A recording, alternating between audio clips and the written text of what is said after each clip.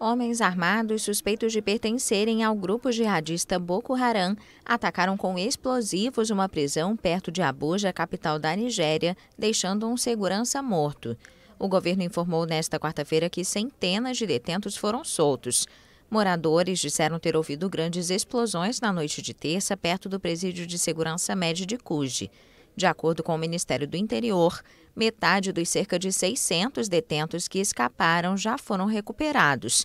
Este é o mais recente de uma longa série de casos deste tipo na Nigéria. As prisões do país mais populoso da África costumam sofrer com excesso de lotação. No ano passado, mais de 1.800 detentos fugiram depois que homens fortemente armados bombardearam uma prisão no sudeste do país.